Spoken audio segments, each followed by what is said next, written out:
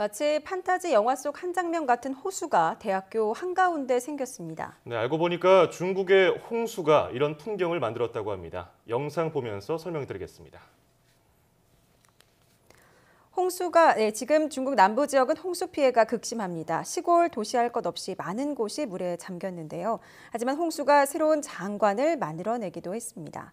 이 사진이 촬영된 곳은 숲속이 아니라 바로 중국의 난징 대학교였는데요. 캠퍼스에 물이 고여서 마치 거대한, 거대한 호수가 생긴 것처럼 됐고 이 모습을 사진으로 촬영하자 마법의 숲 같은 장관이 포착된 겁니다. 이 사진을 본 사람들은 극심한 홍수 피해 속에서도 이런 모습을 보니까 잠시나마 마음이 평온해진다는 글을 남기면서도 하루빨리 대학교가 복구되길 바란다는 응원을 메시지를 전했습니다.